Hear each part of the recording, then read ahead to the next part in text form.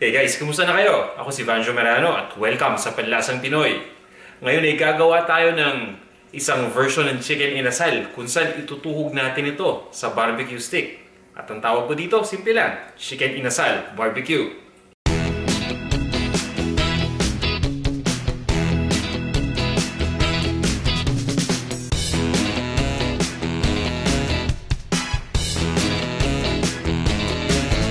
Yung mga ingredients na gagamitin natin.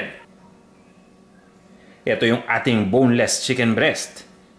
Hiniwa ko lang ito ng maninipis na peraso. Parang yung pang pork barbecue lang. Ito naman yung ating luya na dinikdik na natin. Dahon ng tanglad. Dinikdik ko lang ito at pagkatapos hiniwa ko lang ng maliliit na peraso. Ito naman yung ating anato oil o atswete oil. Meron tayong recipe nito sa panlasangpinoy.com at meron din tayong video nito dito sa YouTube. Kung nanonood kayo sa inyong mobile device, makikita na ninyo yung link ngayon. Kung nasa computer naman kayo, pakitingnan na lang yung description ng video na to. Ito yung ating asukal na pula o brown sugar. Gagamit din tayo dito ng suka, ng kalamansi,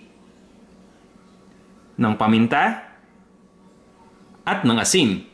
At bukod sa mga ingredients na to, kailangan din natin gumamit dito ng margarine. Kung handa na kayo, umpisa na natin to.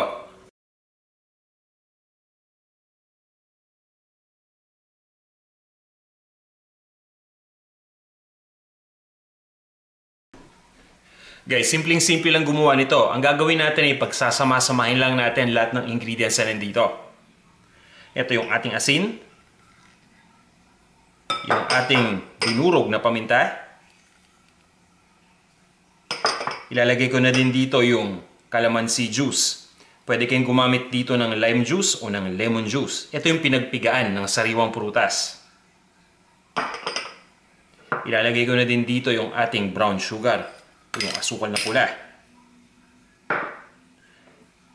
Yung suka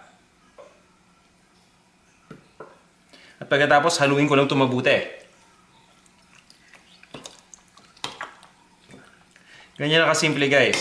At mapapansin ninyo, no, yung hiwa natin, gaya nung sinabi ko kanina, yung parang sa barbecue lang. Ito yung karaniwang barbecue na nakakain natin na nakatulog sa stick. So, ganun yung gusto nating mangyari dito. Kaya ninipisan ko lang yung hiwa. At ngayon naman, ilalagay na natin itong luya. Itong luya, dinurog ko lang mabuti. Mas maganda na durog na durog yung luya. Para nang sa ganon, mabilis na kumapit kagad yung lasa nito dito sa ating manok. At pwede na rin natin ilagay itong dahon ng tanglad. Ito namang dahon ng tanglad, maganda kung meron tayo nito. Pero dun sa inyo na walang access sa dahon ng tanglad, okay lang basta may luya kayo. Pwede na tayong gumawa ng inasal. So haluin lang natin ito at ang pinakahuli nating ilalagay dito bilang ingredient na pang marinade ay itong ating anato oil o atswete oil. At gagamitin din natin ito mamayang atswete oil sa pag-ihaw. Ano? So ang gagawin natin, i-marinade muna natin itong manok. Usually, tatlong oras pwede na. Pero ang nire-recommend ko sa inyo kung meron kayong extra time. Mas maganda sana kung i-marinate natin ito ng overnight. Nang sa ganun ay kapit na kapit na yung lasa dito. At pagkatapos natin itong ma-marinate, ang gagawin naman natin ay itutuhog lang natin ito sa bamboo skewers o sa tinatawag natin na barbecue stick. At ang gagamitin naman nating basting sauce dito habang iniihaw ito ay yung margarine. Yung margarine ay ihalo lang natin dun sa ating anato oil. So ngayon guys, tatakpan ko lang muna itong ating bowl. At pagkatapos, ilalagay ko lang sa refrigerator para ituloy lang natin yung pag-marinate dito. Ngayon guys, ready na tayo! Ang ginawa ko ay binabad ko itong manok ng overnight nang sa ganun ay mas ma-absorb nito yung ating marinade. At dahil handa na itong manok natin, ibig sabihin yan, pwede na natin yung ituhog dito sa ating bamboo skewers o yung tinatawag natin na barbecue stick. So simple lang ang pagtuhog. Ang ginagawa ko dito, sinisiksik ko lang para magandang tingnan. Para talagang nagtutug lang tayo ng pork barbecue. So kukuha lang tayo ng isang hiwa o isang slice ng manok. Pagkatapos, itutuhog lang natin ito dito sa barbecue stick. Ang ginagawa ko dito, sinisiksik ko talaga. Nakagaya niyan. So pwede natin itong pahabain pero hindi ko ginagawa yan. Ang ginagawa ko, tinutulak ko pa. Yan, para mas marami yung mailagay natin. Saka para maging balanse din yung pagkakaluto. Although kapag in-extend natin ito ng ganyan, mas mabilis yung pagkakaluto, no? Mas gusto ko kasi yung ganito dahil mas nagiging uh, moist yung manok natin, no? Hindi natin naluluto kagad ng mabilisan. Lalong-lalo na kapag uling yung pinag-iihawan natin. Dahil kadalasan, di ba, mainit yon So at least kapag medyo makapal yung chicken, ayan, hindi siya kagad masusunog, hindi siya kagad matutuyo. So, ayan. Konting-konti pa. Hanap tayo ng maliit lang. Ayan, ito. Tamang-tama lang to. Para matakpan yung pinakaitaas. So guys, ready na tong isang peraso natin ng chicken inasal barbecue. So eto na yan. Ilalagay ko lang dito sa ating plato. Itutuloy lang natin yung pagtuhog dito no, hanggang sa maubos na natin lahat ng manok.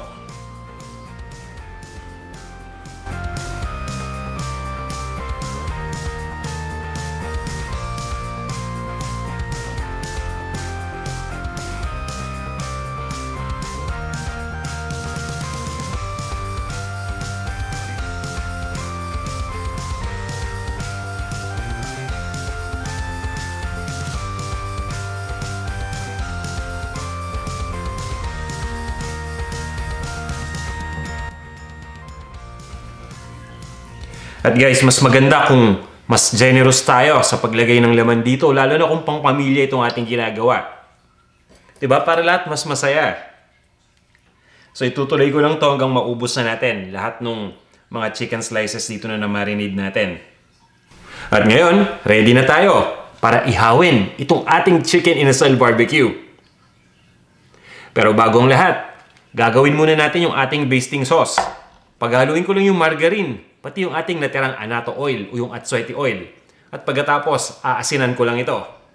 So guys, ito na yung ating margarine. Sumandok lang ako dito sa bowl, no? nilagay ko lang dito sa bowl. Pagkatapos, maglalagay na tayo dito ng ating anato oil o yung atsweti oil. Ihalo lang natin dito. At pagkatapos, lalagyan naman natin ito ng asin. Lalagay ko lang itong asin dito. Ganyan lang. Pagkatapos haluin lang natin itong mabuti. Ang ginagawa ko dito, maya-maya kapag iniihaw na natin yung manok, iniinit ko lang sa microwave itong mixture na to ng mga siguro 5 hanggang 10 segundo para lang matunaw ng mabuti itong margarine. Para nang sa ganon, kapag nilagyan na natin yung ating basting brush dito, madali na natin makuha yung mixture bago natin ipahid o i-brush dun sa ating manok. At dahil maulan sa labas, dito na lang ako sa loob ng bahay mag-iihaw. Susubukan natin itong ating smokeless grill daw. Sabi nila smokeless. Tingnan natin kung totoo. At guys, no? Ito yung ating basting sauce. Ang ginawa ko, 12 seconds, tama-tama lang. Sabi ko kanina, di ba 5 to 10 seconds. Siguro mga 12. Dagdagan yung 2 seconds pa. Para tama-tama lang. Ayan, so umpisa na natin ihawin ngayon yung ating chicken inasal.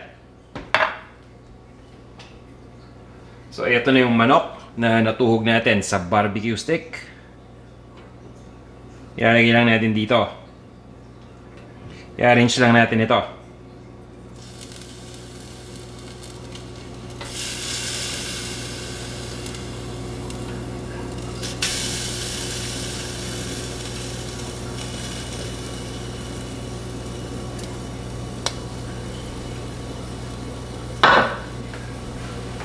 So ngayon guys, pagkalagay pa lang natin, pwede na natin ilagay yung basting sauce dun sa itaas na bahagi. So ganito lang yung gagawin natin. Ibabrush lang natin yung ating basting sauce dito. Nakakatulong tong margarine para magpalinamnam dito sa ating chicken inasal. Ayan. Kung wala kayong margarine, pwede kayong gumamit dito ng butter. Ngayon guys, ibaliktad muna natin itong ating chicken and lasal barbecue.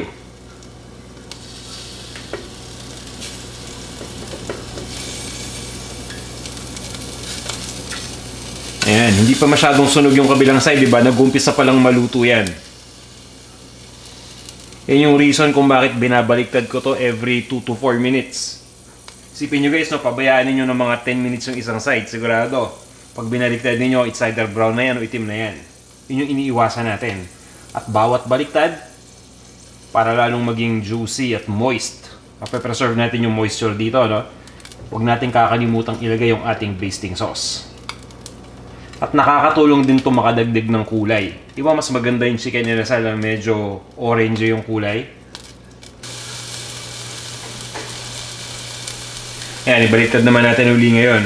At ayan, may usok. So, hindi talaga to completely smokeless grill. ayun, babaliktad lang natin ito. Uli. So, ayan, habang binabaliktad natin, unti-unti na talaga naluluto, no? Ang kagandahan dito, kahit na medyo matagal natin itong iniihaw ng kakabaliktad, kapag kakainin na natin ito mamaya, hindi tuyo yung manok. Dahil inaalagaan natin mabuti ito sa pamamagitan ng pagbabaliktad. Kapag nga hindi natin gagawin yon guys, ewan ko ha, kung, kung nagmamadali kayo, subukan ninyo na hindi bali-baliktad ng marami. Nasa sa inyo yun. Nasa ano lang naman ito, suggestion ko lang. Based lang sa experience. So, all up to you kung gagawin ninyo. Pero para sa akin, mas maganda ang ating chicken inasal kung talagang juicy juicy ito. Ngayon guys, ready na tong ating chicken inasal barbecue. Tama-tama lang yung pagkakaihaw natin. So ang gagawin natin ngayon, ililipat lang natin ito sa isang serving plate. At iserve na natin. Ngayon guys, ready na tong ating chicken inasal barbecue. Maraming salamat sa lagi ninyong walang sawang pagsubaybay sa ating mga videos. At kung nagustuhan nyo to, huwag nyo sanang kalimutang ilike.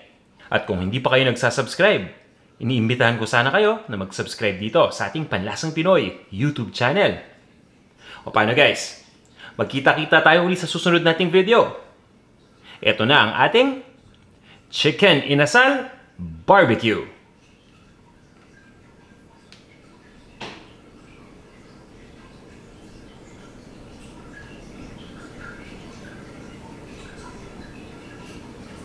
Tara, kain na tayo!